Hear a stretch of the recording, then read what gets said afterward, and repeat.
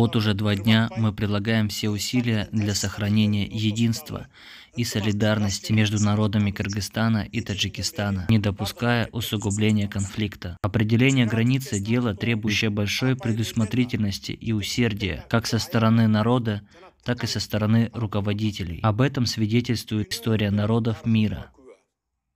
Столь серьезные вопросы решаются только путем мирных переговоров.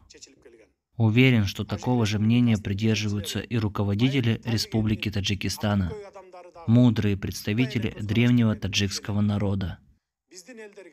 Нашим народам свойственны миролюбие и взаимное уважение, доказанное многовековой историей.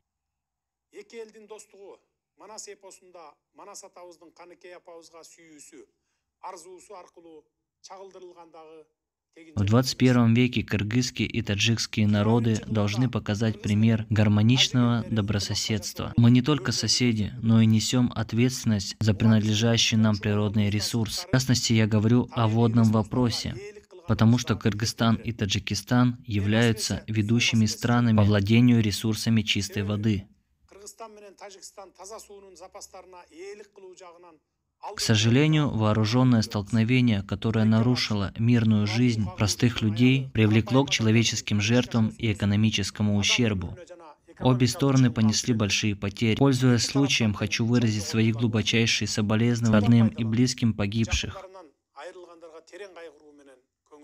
Я отдаю дань уважения героизму военнослужащих, отдавших свои жизни, защищая рубежи Родины. Говорят, что войну легко начать, но трудно остановить. Мир и спокойствие превыше всего. Думаю, таджикский народ, переживший гражданскую войну, это прекрасно понимает. Нехорошо и то, что мусульманские народы пошли друг против друга в месяц Рамазан.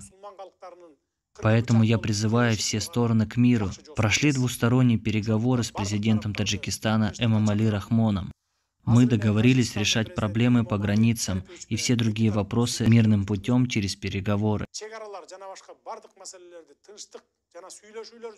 Если я не ошибаюсь, я предупреждал о сегодняшней проблеме 16 лет назад.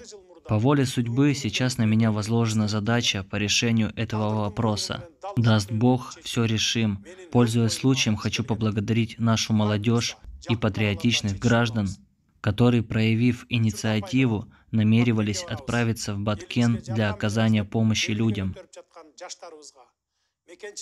Вместе с тем я прошу их не поддаваться эмоциям. Мы все решим мирным путем.